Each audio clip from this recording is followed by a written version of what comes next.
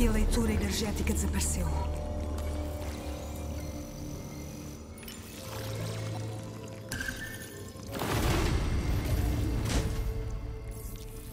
Adquiri uma nova espécie de